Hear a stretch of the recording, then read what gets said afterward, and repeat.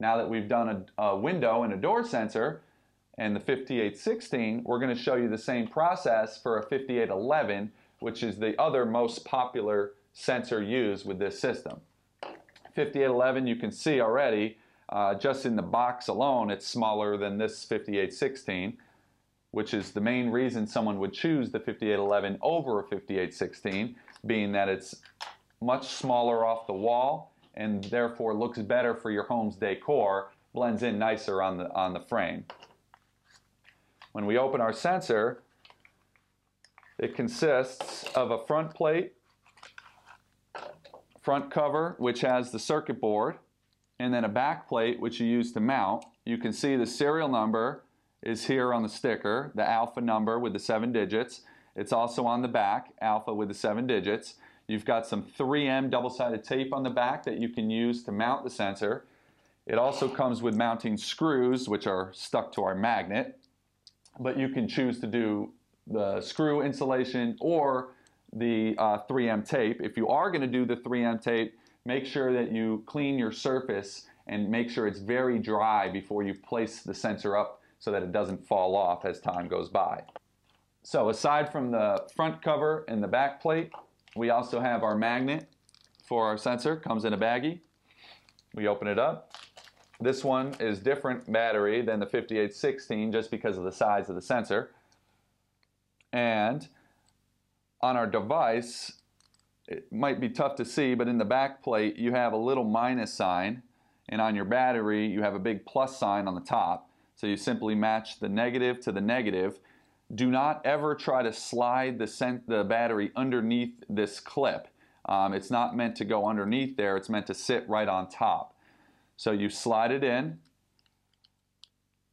and you snap it in place and the battery sits right into that section. On here, it has a tamper. It's a little bit different than the 5816. The 5816 had a little silver dongle switch. This one has a little contact point on the circuit board, and when the cover is closed, it holds down this little clip and keeps the, the tamper connection closed. So in this case, we have our battery installed and we're ready to program our Honeywell 5811 sensor. So again, same process. From the home screen, we go into security. From security, we hit more, and then tools. We want to do installer mode programming, so we use our installer code by default 4112, and now we have the option to jump into programming. You click program, zones. And again, our template zones are there, and our zone 6 that we just programmed is there. So we're going to jump down and we're going to use a brand new zone, zone 7. You can select any zone you want for any sensor. Most people tend to keep them in order, so you build it out as you go. Some people even do doors and windows, and then they, you know, break and have a section for their motions, and then they break and have their section for their, their smoke detectors. So you can organize your zones at your panel however you like. Again, it doesn't really matter. The sensor is going to report on whichever zone it's programmed. Um, but for you know keeping things nice and clean, you just go in order. So you go zone 7 and you highlight it first and then edit. Now we're in our zone programming screen for zone 7. We have our 5811 sensor here and I'd like to point out on the 5811, you have two little plastic hash marks here. All right, you'll notice they are not shown on this long edge and they are not on any of the short edges.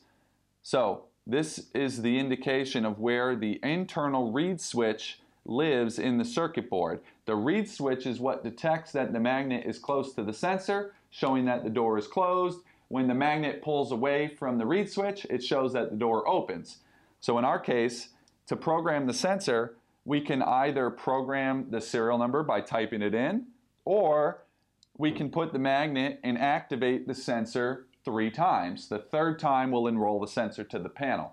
So to do that, you'll notice I can fault the sensor as many times as I want on this screen and nothing happens. As soon as I, oops, as soon as I jump into the serial number box, now we're ready to auto enroll. You can either type the number in or to avoid mistakes and to also verify the sensor is working, we put the magnet between the two hash marks and we pull it away. That's activation number one.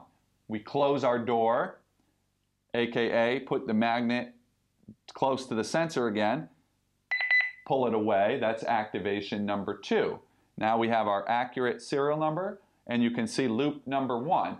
When on the 5816 sensor, you have the internal screw contact, which is loop number one, or you have the magnet with the sensor as loop number two. The 5811 only has one available loop, it's loop one, so 5811s always get programmed with loop number one. And when you do the auto enrollment mode, it will auto detect the proper loop so you can't make a mistake. Another advantage of why auto enrolling is better than typing in the sensor serial number.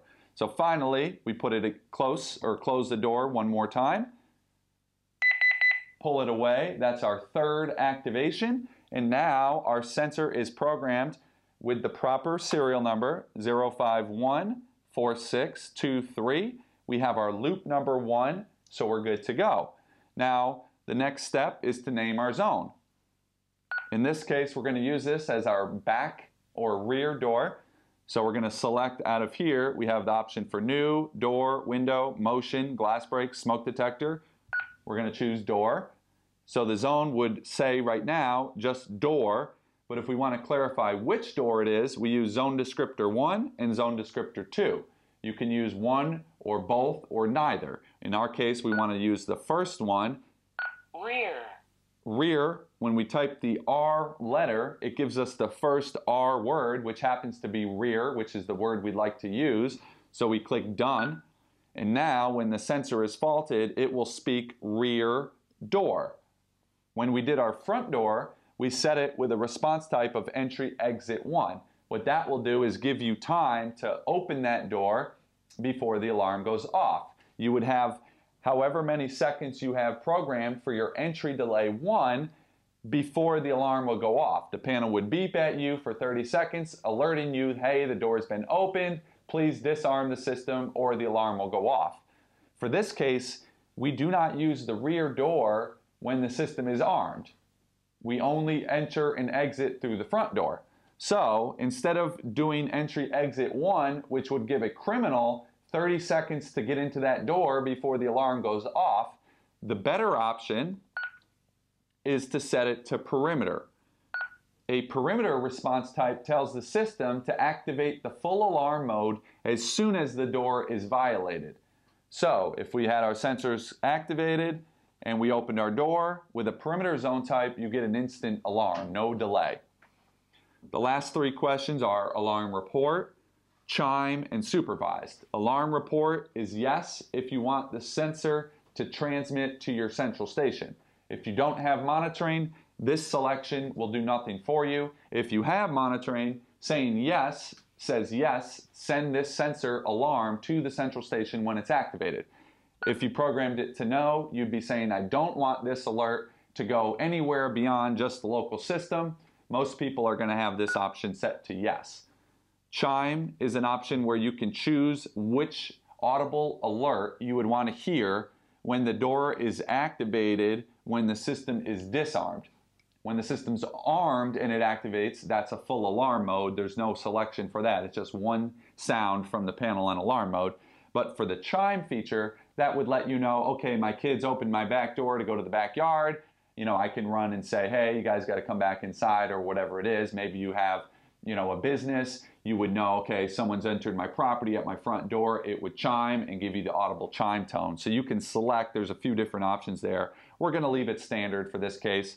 And then the final option is supervised. On any door and window sensor that you have programmed, we recommend that you have it supervised. What that means is that the panel will check to see are you there. Every 12 hours, it will, it will send out a signal to say, do I see this sensor? If this sensor with this serial number checks back and says, yep, I'm here, the panel's happy.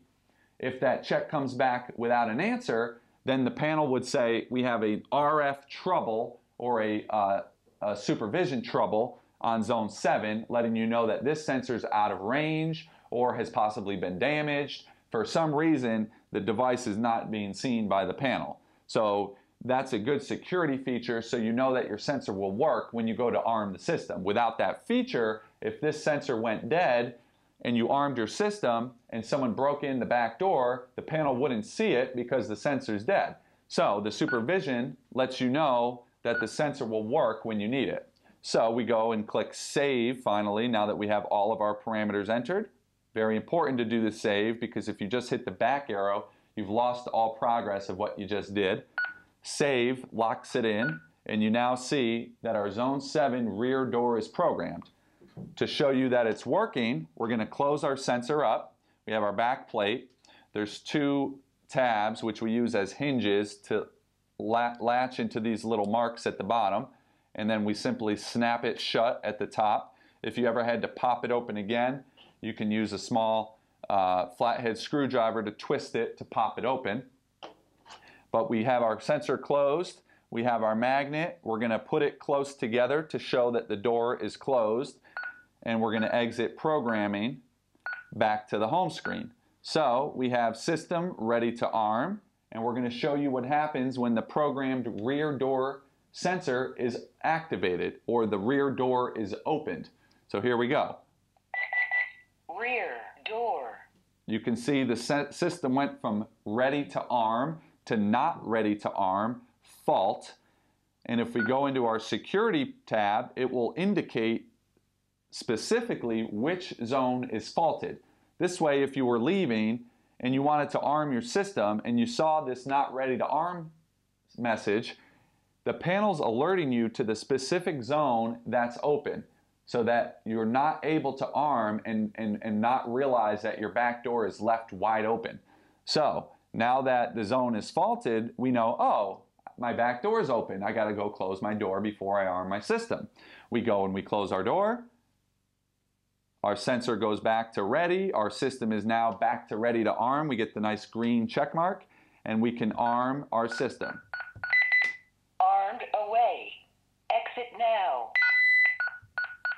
We're going to go ahead and disarm, but that shows you how to program a 5811 sensor to the L7000 Lynx Touch panel.